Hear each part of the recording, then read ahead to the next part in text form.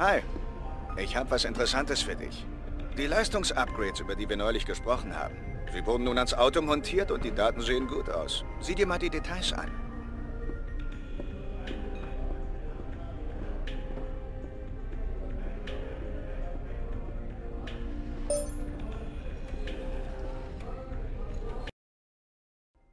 Was geht Leute und herzlich willkommen zurück zu unserer Karriere hier in F1 2016. Wir sind heute beim zweiten Rennen der zweiten Saison in Bahrain.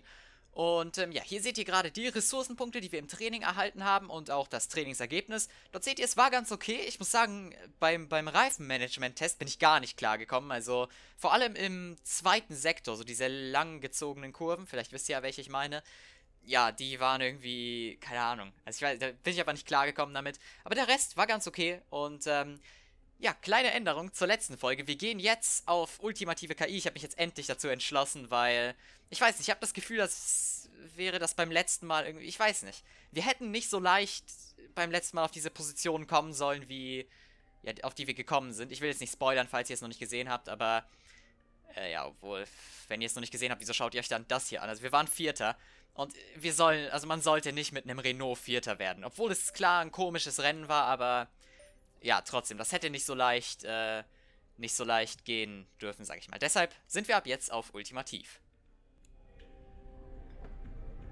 Hi, wie geht's?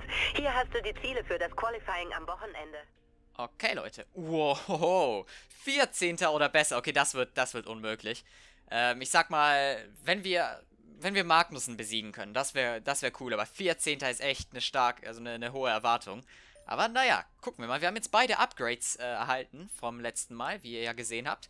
Und das bringt uns bei der, ja, bei der Leistung des Autos ziemlich nahe ran an, an McLaren. Also, ja, ziemlich nah ist vielleicht ein bisschen übertrieben, aber ja, sie sind nicht mehr so weit weg. Und äh, wir könnten uns auch ein, ein Upgrade leisten. Hm, okay, allerdings warten wir nochmal das Qualifying ab und, ähm, ja, schauen, wie viele Ressourcen, schauen dann, wie viele Ressourcenpunkte wir danach haben. Dann können wir uns vielleicht irgendwas Besseres kaufen. Und äh, ja, Leute, ich würde sagen, ohne groß drum rumzulabern, legen wir auch direkt los mit dem Qualifying hier in Bahrain. Okay, Leute, letzte Kurve. Oh, nochmal vernünftig mitnehmen. Ja, das war sogar ziemlich gut, muss man sagen. Das war auch eine ordentliche erste Runde, würde ich mal so behaupten. Der ist nochmal auf über die Linie und das reicht für Platz 4. Aber wir sind vor Button, also das ist, das ist cool. Okay, Leute, wir haben jetzt noch ungefähr 6,5 Minuten im Qualifying. Und, ähm, ja, Magnussen ist 14. vor uns. Hm, also das ist, wenn man bedenkt, dass das die ultimative KI ist, ist das gar nicht so schlecht, muss ich sagen. Also, ja, ich freue mich drauf. Das wird eine richtig coole Herausforderung. Auch wenn es nicht leicht wird. Ich habe viele Kommentare auch gelesen, die mir das nicht zutrauen, aber, ne, wir sprechen uns nach diesem Rennen. Na, das sollte ich vielleicht lieber nicht sagen. Naja, Leute, mal gucken. Wir müssen 14. gut machen, um vor unserem Teamkollegen zu sein. Das wird nicht leicht, aber ich denke, dass, ja, dass wir auf jeden Fall nochmal ein bisschen Zeit rausholen können, weil diese Runde war nicht perfekt. Oh, Leute, wir kommen auf die letzte Kurve zu wir sind 17 schneller als auf unserer letzten Runde. Oh, und das war auch perfekt. Das war perfekt, Leute. Perfekt den Bremspunkt getroffen. Wir kommen gleich über die Linie. Nochmal DRS auf. Und für was reicht das? Oh! Platz 12. Das war gerade ein richtig schwules Geräusch. Platz 12, Leute. Wow! Oh, was war das für eine Runde? Ich habe wirklich alles gegeben. Das muss man auch gegen ultimative KI. Ah, das war... Das war der Shit, ey. Okay, Leute, das Qualifying ist zu Ende. Wir sind 13. Im Renault. Hier seht ihr es, ultimative KI. Ja, Leute. Und das, das war wirklich unerwartet. Wow. Okay. Also, ne, das, das an alle, die sagen, ich bin zu schlecht für ultimative KI. Ultimative KI hier. Guckt euch das an. Nein, Spaß. Aber das, damit bin ich wirklich zufrieden. Diese Runde war echt perfekt. Also, nee, perfekt war die nicht mal. Aber die war sehr gut auf jeden Fall. Eine perfekte Runde gibt es eigentlich gar nicht, finde ich immer. aber, naja, Leute. Wir sind drei, nee, vier Plätze vor unserem Teamkollegen. Das ist stark. Und ja, wir haben beide Saubers geschlagen. Beide Renaults. Beide Haas sogar. Und beide Force Indias. Was geht ab, ey? Okay, Leute, dann gucken wir uns mal die Ressourcenpunkte an. Das könnte ja ordentlich was geben. Ja, wir bekommen ein paar dazu, haben jetzt 371. In der Rivalität dürften wir ja jetzt auch ein bisschen auf Magnussen aufholen. Da sind wir ja nach dem letzten Rennen hinter ihnen zurückgefallen. Aber ja, das hat eigentlich nicht wirklich Sinn gemacht. Ja, wir sind jetzt fast, fast gleich wieder. Also wir haben 13 Punkte, er hat 14, das ist sehr schön. In der Fahrerposition dürften wir jetzt noch weiter nach vorne gehen. Und zwar schon in den liedernden Bereich. Also so schnell geht das, Leute. Und, ähm, ja, dann gucken wir uns mal an, ob wir uns irgendwelche Upgrades leisten können. Weil ich will jetzt wirklich versuchen, einfach bei jedem Rennen irgendein Upgrade äh, ja, ans, ans Auto zu bringen. Das wird nicht möglich sein, weil je weiter man kommt, desto teurer werden die natürlich. Aber ja, wir können uns immerhin ein Upgrade für die Treibstoffeffizienz leisten, sag ich mal. Und äh, ja, das holen wir uns auch. Das sollte dann beim nächsten Rennen in China fertig sein. Und äh, ja, dann hören wir uns mal das Ziel des Teams für das Rennen an, Leute. Hey, wie geht's dir? Ich habe ein paar Infos für dich zu den Zielen, auf die du achten solltest. Okay, Leute, Platz 14 oder besser, ja, das, das muss eigentlich das Ziel sein. Also, ich weiß nicht, mich würde es überraschen, wenn wir Punkte holen könnten, aber wir haben eine ziemlich gute Ausgangsposition, sag ich mal. Und äh, ja, Kevin Magnussen besiegen, okay, das sollte auch drin sein. Hm. Also ich sag mal, mein Ziel wird es sein, einfach, wenn wir einen Punkt holen können oder so, das wäre nett.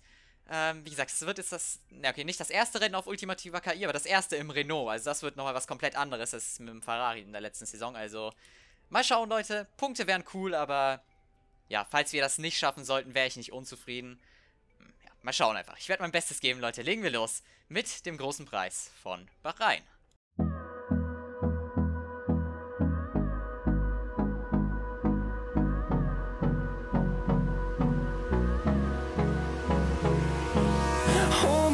Close till I get up.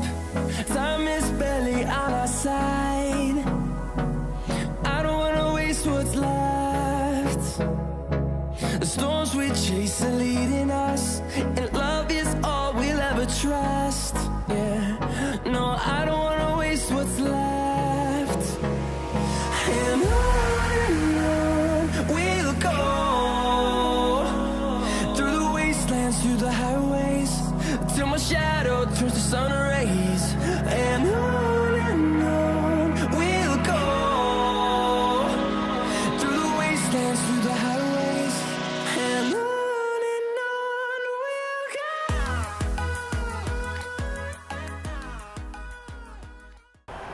möchten dich heute auf Platz 14 sehen. Okay, Leute, hier sind wir jetzt in der Startaufstellung vor dem Rennen und wir gucken uns mal die Rennstrategie an. Okay, gut, da oben sieht man, dass es nicht regnen soll, das ist schon mal nice, aber ja, ist auch nicht zu erwarten in Bahrain. Und, ähm, okay, die vorgeschlagene Strategie ist eine 2-Stop. Ich frage mich, ob man vielleicht eine 1-Stop-Strategie machen kann, wenn man die Mediums fährt. Hm. Okay, nein, Leute, ich habe das jetzt mal so gelassen, das mit den Mediums wäre, glaube ich, nicht so eine gute Idee, weil die werden dann zum Ende hin so abgenutzt, dass es nicht nicht wirklich schneller wäre, denke ich mal. Also wir nehmen ein bisschen weniger, äh, bisschen weniger Benzin mit. Okay, nicht zu wenig natürlich. Und, ähm, ja, mal gucken. Also ich weiß nicht, ob ihr euch noch an die letzte Saison erinnert. Dort war es ja so, da haben wir mehrere, mehr Stops gemacht und das hat sich überhaupt nicht ausgezahlt. Deswegen denke ich mal, sollte das auf jeden Fall die richtige Strategie sein, Leute. Und dann legen wir los mit der Einführungsrunde. Ich bin wirklich sehr gespannt, ob wir hier Punkte holen können auf Ultimativ. Das wäre richtig, richtig cool. Okay, Leute, wir sind die einzigen von denen hier um uns herum, sage ich mal, die auf Supersofts starten. Alle anderen sind auf den Softreifen, also mal gucken, was die mit der Strategie vorhaben. Aber ich, ich denke nicht, dass eine 1-Stop möglich ist. Das würde mich wundern. Okay, Leute, hier fahren wir jetzt in unsere Startposition und äh, ja, die anderen sind auch schon fast, äh, fast angekommen, sage ich mal. Ja, mal schauen, was hier möglich ist. Wie gesagt, es wird ein interessantes Rennen. Und ähm, ja, in den ersten Kurven hier in Bahrain kann man normalerweise ziemlich viele Plätze gut machen, wenn es ja, wenn es gut läuft. Von daher, ja, werden wir mal schauen, ob wir davon irgendwie Gebrauch machen können. Alles klar, Kai. So, jetzt sind aber alle bereit, Leute. Da kommen gleich die fünf roten Lichter zum zweiten Mal in dieser zweiten Saison hier. Und es geht los hier beim großen Preis von Bahrain. Wir hatten einen, ja, okay, einen durchwachsenen Start, sag ich mal. War jetzt nichts Besonderes, aber wir gehen jetzt einfach mal ganz aggressiv hier innen rein. In in die erste Kurve. Das war wirklich sehr aggressiv. Wir berühren uns mit Science. Und wir sind vor auf Platz 6, Leute. Oh mein Gott, wir haben wie viele Plätze gewonnen? Sieben Plätze gewonnen in dieser ersten Kurve. Klar, ich muss zugeben, das war sehr aggressiv, aber äh, ja, warum nicht, ne? Alle anderen waren da eher, ja, ziemlich entspannt. Wow, Leute, okay, das war ein Megastart. Das habe ich überhaupt nicht erwartet. Oh, Ricciardo und Verstappen gehen hier Rad an Rad durch diese schnelle Schikane. Dadurch sind sie ziemlich langsam und wir gehen vorbei an beiden Red Bulls. Oder zumindest an Ricciardo. Mal schauen, ob Verstappen da nochmal dagegen halten kann. Oder nee, wer ist das hier neben uns? Doch, das ist Verstappen. Er hat jetzt die Innenseite. Wir kommen weit raus auf den Scheiß Sand und haben uns dadurch ein bisschen verbremst. Okay, das war das war nicht so gut. Wir sind vor auf Platz 5. Was für ein Start, Leute. Das habe ich gar nicht erwartet, ey. Okay, wir hauen gerade den schnellsten ersten Sektor raus. Was ich eigentlich sagen wollte, wir können ganz gut mithalten hier mit Verstappen vor uns. Also klar zieht er ein bisschen weg, aber ich meine, wir sind in einem Renault. Also, ja, das ist echt überraschend, dass unsere Pace hier im, im Anfangsstint so gut ist. Jeff sagt, dass es nicht regnen soll. Gut, das habe ich ehrlich gesagt auch nicht wirklich erwartet. Oh, ein bisschen verbremst in der ersten Kurve, Leute. Aber Ricciardo war leider, oder zum Glück für uns, nicht nah genug dran. Mal gucken, jetzt wird er aber einen kleinen Run bekommen in die, ich glaube, dritte Kurve. Oder vierte, keine Ahnung, wie auch immer. Wir verteidigen einfach mal die Innenseite. Das sind alles eigentlich keine wirklichen Gegner für uns. Also normalerweise sollten wir keine Chance haben gegen Ricciardo und vor allem gegen Vettel dahinter. Aber, naja, mal gucken. Vielleicht können wir die ja ein bisschen hier aufhalten und, ähm, ja, keine Ahnung. oh, wieder verbremst. Also die Reifen sind nicht mehr so ganz, nicht mehr so ganz am Start. Und Ricciardo ist jetzt direkt hinter uns. Er hat DRS. Ja, wir versuchen nochmal das zu verteidigen. Ah, okay, aber man muss sagen, das, dass er einen Renault-Motor hat, genauso wie wir, das hilft uns so ein bisschen. Weil hätten wir hier einen Mercedes hinter uns, dann ja, hätten wir keine Chance. Aber so ist das ziemlich nice im Moment. Und die ersten gehen schon an die Box. Das war, glaube ich, ein Mercedes Rosberg. Und wer noch? Keine Ahnung. Irgendjemand war da auf jeden Fall noch an der Box. Da kommt Ricciardo jetzt mit der S. Oh, können wir das nochmal über außen irgendwie verteilen? Ah, nee. Weit rausgekommen. Wir haben jetzt aber die Innenseite für diesen kleinen Knick. Das hat uns allerdings nichts gebracht. Mal schauen, ob wir uns jetzt in Windschatten hängen können. Und ihn vielleicht in der nächsten Kurve ausbremsen können. Ja, wir kommen ran. Wir kommen ran, Leute. Und gehen innen vorbei vielleicht. Mal schauen. Ja, das sieht, das na, sieht das gut aus? Trauen wir uns hier noch? Nein, das, das wäre ein bisschen riskant gewesen, Leute.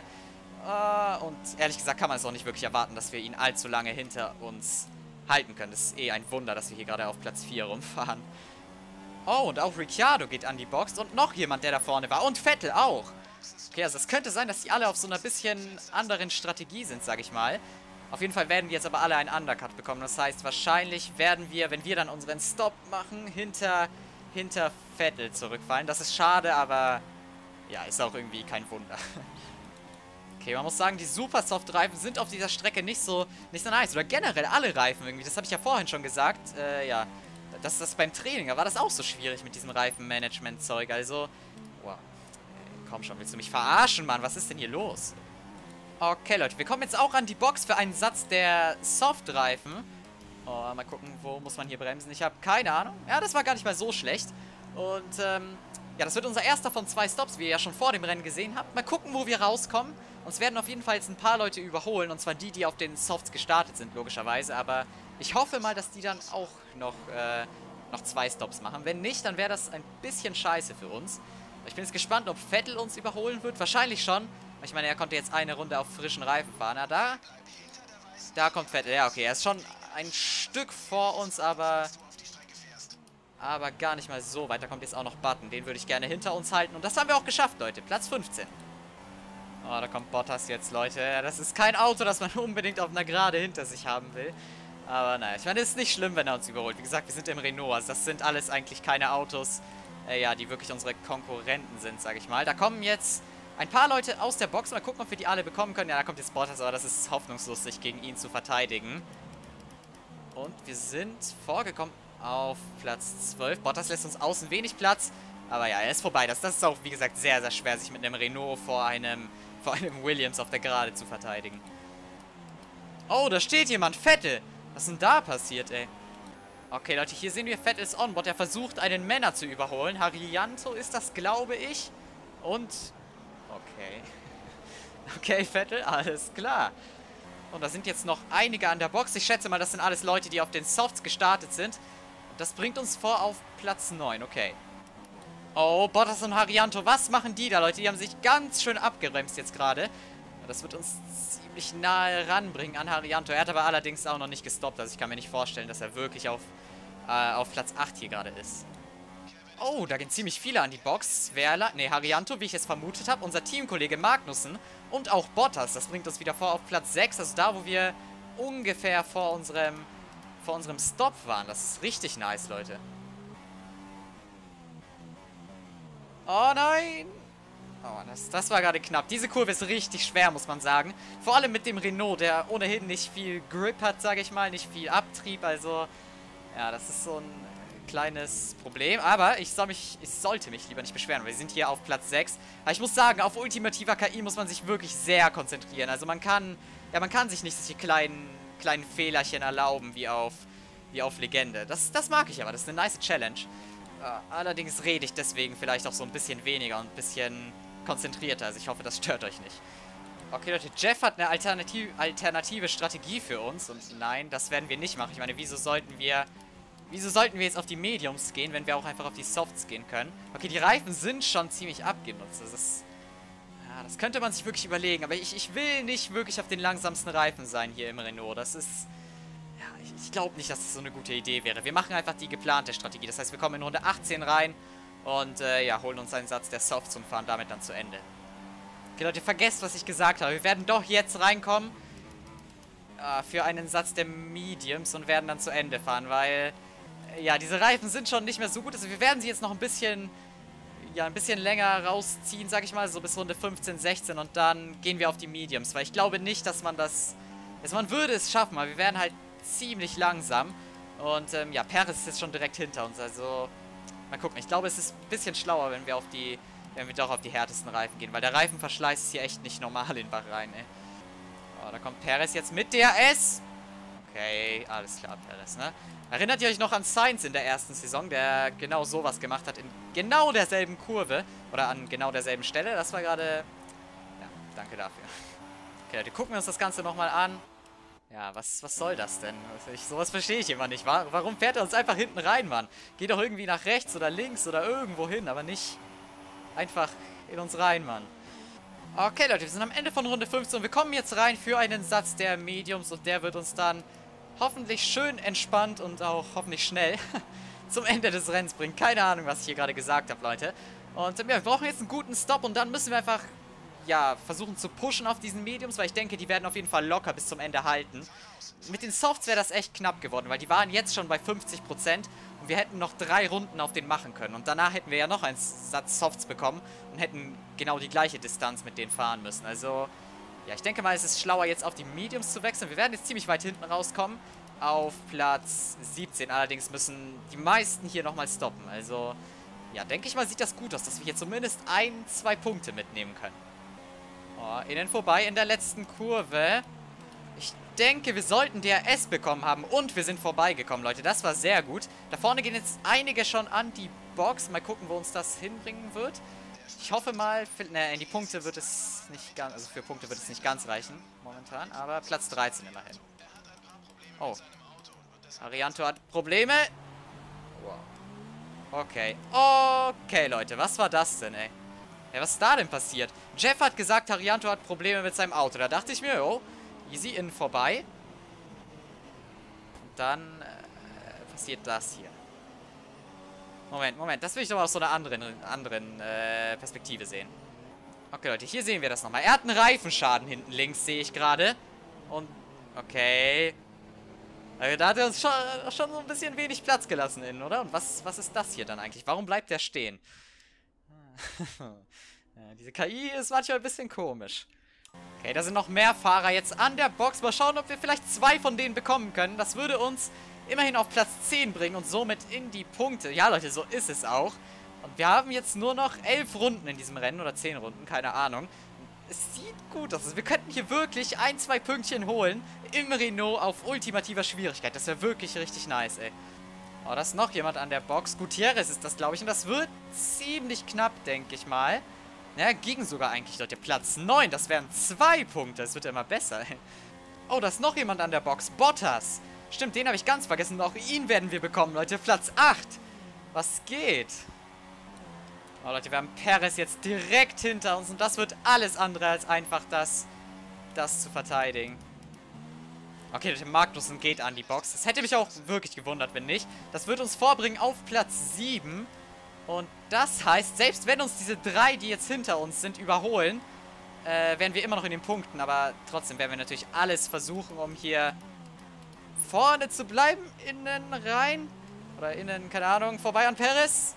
Sehr gut, Leute. Platz 7. Also wenn wir das halten könnten, das wäre der Shit. Obwohl es, es wird sehr schwer. Es wird sehr, sehr, sehr schwer. Da kommt Gutierrez. Aber, okay, wir konnten vorne bleiben. Aber das wird, das wird wirklich alles andere als leicht, das jetzt noch, was ist nicht, sechs oder sieben Runden durchzuhalten. Oh, da kommt Gutierrez mit DRS, Leute. Oh, guckt euch diese Ferrari-Power an. Mal schauen, ob wir innen wieder zurückkommen können. Ja, rechtzeitig bremsen. Ah, er wird jetzt leider die Innenseite halten. Aber mal gucken, vielleicht können wir... Oh, na, das war, das war ganz knapp. Da wären wir fast gestorben. Ah, und da ist Perez und Grosjean auch vorbei. Oder sind Perez und Grosjean auch vorbei. Shit. Das war nicht das, was wir gebraucht haben, Leute. Überhaupt nicht. Innen vorbei. An Perez. Na, noch nicht ganz. Aber wir werden jetzt gleich DRS haben auf dieser kleinen Gerade. Okay, er hat leider auch DRS auf Grosjean. Das ist ah, nicht das, was wir brauchen. Aber die sind ja alle ziemlich eng beieinander.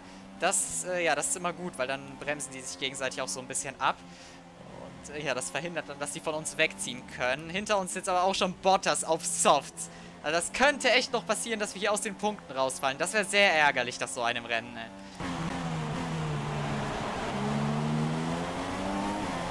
Oh, da kommt Perez jetzt wieder zurück, Leute. Das war vielleicht nicht so schlau, ihn vor der letzten Kurve zu überholen, weil er dadurch halt DRS bekommen hat. Allerdings haben auch wir DRS auf Grosjean und gehen innen vorbei an beiden. Was ist denn mit den Bremsen los? Das hat irgendwie gerade alles nicht so ganz funktioniert, aber die haben auch sehr früh gebremst, muss man sagen.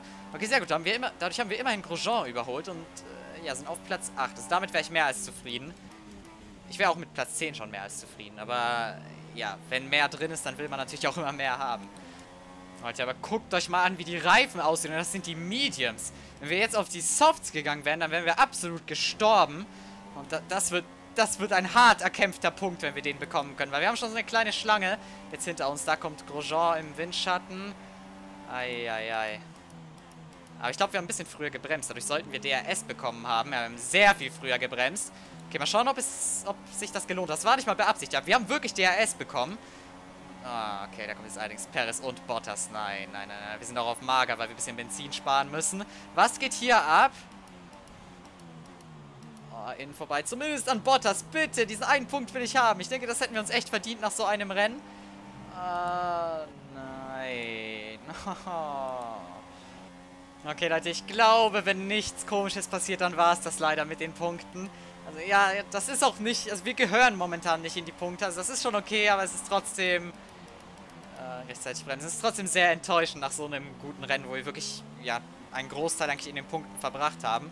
Ich denke, das, was uns hier getötet hat in diesem Rennen, ist der Reifenverschleiß. Guckt euch mal an, wie, wie die Reifen aussehen. Und das sind die härtesten. Wir fahren seit, was weiß ich, Runde 16 auf denen oder so. Also seit 11 Runden. Das ist wirklich nicht so viel. Oh, bitte, bitte, bitte, bitte ist da jemand langsam. Gutierrez ist draußen, Leute. Er hat einen Motorschaden. Er hat einen Motorschaden, das bringt uns zurück in die Punkte. Allerdings ist Alonso halt auch direkt hinten dran. Oh, bitte. Das wäre so nice, wenn wir, wenn wir, diesen Punkt jetzt bekommen würden. Komm schon. Ich glaube, das haben wir uns wirklich verdient nach so einem Rennen. Das wäre echt schade hier, äh, ja, ohne Punkte rauszugehen. Aber äh, es, es, wird echt nicht leicht. Oh, da kommt Alonso mit DRS. Komm schon, du scheiß Renault-Motor. Gib Gas, Mann. Da sind äh, Massa und Alonso jetzt innen, Leute. Oh, Massa hat uns einfach beide überholt. Aber wir bremsen als letztes und könnten vorbei sein. Massa wird da innen jetzt nochmal äh, seine Nase reinhalten, aber es hat ihm nicht wirklich was gebracht. Er hat jetzt allerdings einen kleinen Run auf uns in die vierte Kurve hinein, oder die, wie viel auch immer das ist, ich habe keine Ahnung. Rechtzeitig anbremsen, Leute. Okay, okay, so lang ist dieses Rennen nicht mehr. Es ist danach nur noch eine Runde. Wenn wir das halten könnten, ey, bitte. Das wäre so cool. Oh, da kommt das Feuerwerk. Oh mein Gott, wenn wir das schaffen, in die Punkte zu kommen in einem Renault auf ultimativer KI, muss man sagen. Das, das wäre wirklich, wirklich richtig Hammer. Mal gucken, also Massa wird jetzt noch eine große Chance haben hier auf dieser DRS gerade. Das heißt, wir müssen jetzt rechtzeitig anbremsen. Wir können eigentlich nicht mehr allzu viel Fett fahren. Wir stellen mal auf Standard und gucken, ob das reicht. Ja, wir konnten uns ein bisschen absetzen, dadurch, dass, wie gesagt, Alonso Massa ein bisschen attackiert hat. Und das reicht, um vorerst vorne zu bleiben. Es kommt allerdings nochmal diese äh, kleine Gerade vor der letzten Kurve. Und dann nochmal natürlich der Run zu zu Start und Ziel. Das wird auch nicht angenehm. So, jetzt rechtzeitig bremsen, das ist wichtig. Okay, nur damit ihr euch vorstellen könnt, was hier gerade abgeht. Guckt euch mal diese Reifen an. So, mehr sage ich dazu nicht. Da kommt Massa, Leute. Letzte Kurve dieses Rennens. Wir verteidigen innen. Oh, wird das spannend, wird das spannend, wird das spannend. Komm, lass ihm keinen Platz, Kai. Ja, Leute, das könnte es gewesen sein. Ja, es sieht gut, das sieht gut aus. Wir stellen nochmal noch Fett auf den letzten Metern. Leute, kommen über die Linie und holen einen Punkt für Renault. Auf Ultimativ. Ja, Mann. Ja, Leute. Boah, dieses Finish schon. Das war... Oh, ja. Wir haben es geschafft. Das habe ich nicht gedacht, Leute. Wow. Sehr gut, ey. oh, Leute, das war wirklich die Hölle jetzt in den letzten Runden. Also der Reifenverschleiß hier ist so hoch auf dieser Strecke. Ich weiß gar nicht warum, weil, okay, weiß nicht, ist das immer so gewesen oder ist das vielleicht der Renault, der jetzt nicht, äh, ja, so gerade nett mit den Reifen umgeht. Ich habe keine Ahnung. Hamilton hat das Rennen auf jeden Fall gewonnen, also Glückwunsch. Kimi ist Zweiter. Also bei Kimi läuft es ziemlich gut. Ich glaube, er hat das erste Rennen gewonnen. Jetzt Platz 2, also das ist nicht schlecht. Und Verstappen ist Dritter geworden. Ist natürlich auch cool für ihn, aber das Wichtigste ist, wir haben einen Punkt, Leute. Und ähm, ich muss sagen, über diesen Punkt freue ich mich gerade mehr als über den vierten Platz im ersten Rennen, weil, ja, das war jetzt wirklich hart erkämpft und es war auf der schwierigsten KI-Stufe. Also jetzt, jetzt kann mir keiner von euch sagen, äh, dass ich äh, die KI hochstellen soll oder so. Okay, hier sehen wir nochmal das komplette Rennergebnis. Wie gesagt, Hamilton hat gewonnen vor Kimi Verstappen. Dahinter war Rosberg, Ricciardo, Kweat, Grosjean, Bottas, Perez und wir holen uns den letzten Punkt in diesem Rennen. Das war auch richtig knapp zwischen uns, Massa Alonso und unserem Teamkollegen. Vettel hat äh, ja nach dieser komischen Aktion mit Wehrlein nur Platz 14 belegt. Das ist schade für, für ihn, weil, wow, wenn man sich unsere schnellste Rennrunde anguckt, die war echt nicht. Ne, okay, war gar nicht so schlecht. Ich wollte sagen, die war ziemlich scheiße, aber es ging eigentlich. Es gab auch andere, die 1,35er Zeiten gefahren sind. Sainz und Gutierrez sind ausgeschieden. Gut, sonst irgendwelche großartigen Überraschungen. Ich habe keine Ahnung. Die größte Überraschung ist wahrscheinlich, dass wir hier in den Punkten sind. So, hier seht ihr es auch nochmal. Wir sind wirklich auf Ultimativ. Und äh, ja, Leute. So, dann werfen wir noch einen Blick auf die WM. Dort sind wir jetzt zurückgefallen auf Platz 6. Ja, also ich sag mal, wenn wir in dieser Saison so innerhalb der Top 10 irgendwo sein können am Ende, dann wäre das ja, dann wäre das cool. Also wir werden nicht mal annähernd irgendwie um die WM mitkämpfen im Renault. Also in der ersten Saison zumindest nicht. In der zweiten Saison wird das dann das Ziel sein, aber ja, jetzt momentan ist das Auto einfach noch nicht stark genug. Vettel hat nur zwei Punkte geholt in den ersten beiden Rennen. Und ähm, ja, unser Teamkollege hat auch noch keine Punkte. Also das ist natürlich äh, ja cool. Also ich weiß, vielleicht können wir ja der erste Fahrer bei Renault werden. Das wäre natürlich nice. Das haben wir in der letzten Saison bei, sorry, bei Ferrari nicht geschafft. Und in der Konstrukteursrangliste liegen wir jetzt auf Platz 6. Ja, also ich meine, wir sind die Einzigen, die bisher Punkte geholt haben. Da kann man nicht viel mehr erwarten. Ich, ich sag mal, wenn wir hier so bleiben könnten, wäre das okay. Vielleicht können wir McLaren noch schlagen, weil, okay, die, die sind ziemlich, ziemlich weit vorne. Also da sollten die eigentlich nicht sein, denke ich mal. Aber, naja, wir haben auch nur zwei Rennen bisher in dieser Saison gefahren. Also da kann sich auch einiges ändern. Okay, Leute, hier sehen wir jetzt die Ressourcenpunkte. Wir haben 121 dazu bekommen, haben jetzt 242. Okay, also komischerweise haben wir genau das Doppelte von dem, was wir bekommen haben. das ist ein bisschen lustig. In der Rivalität sollten wir jetzt vor Kevin Magnussen kommen. Es sei denn, er hat eine schnellere Runde. Aber da, komm, das, das wäre ärgerlich. Ich meine, wir haben in den komm schon. Fuck you, Alter. Wir haben in den ersten zwei Rennen Punkte geholt und er, er nicht. Lächerlich. in der Fahrerposition. Da könnten wir jetzt tatsächlich auf 10 Punkte kommen. Ja, werden wir auch, Leute. Also das ist sehr schön zu sehen. Und, ähm, ja, hat uns das Team vielleicht irgendwas zu sagen? Manchmal sagen die ja was, wenn man sich gut anstellt. Nein, anscheinend nicht, Leute. Okay, dann würde ich sagen, sehen wir uns beim nächsten Rennen in China? Ich glaube schon. Bitte? Ja, in China wieder, Leute. Das war ein sehr, sehr cooles Rennen. Die ersten Punkte auf Legenden-KI im Renault, das ist, nee, auf ultimativer KI im Renault, das ist richtig nice und, ähm, ja, wir werden jetzt auf jeden Fall weitermachen auf Ultimativ, weil das ist einfach viel spannender als, als auf Legende, zumindest sehe ich das so. Weil, ich meine, es war schon ein bisschen unrealistisch, dass wir einen vierten Platz geholt haben, direkt im ersten Rennen. Und, ähm, ja, vielen Dank fürs zu Ende schauen. Lasst gerne einen Daumen hoch da, wenn es euch gefallen hat und abonniert den Kanal, wenn ihr neu seid und nichts mehr verpassen wollt. Vielen, vielen Dank fürs zu Ende schauen, Leute. Wir sehen uns beim nächsten Mal in China, wie gesagt, wieder. Haut rein! Bis dann und ciao.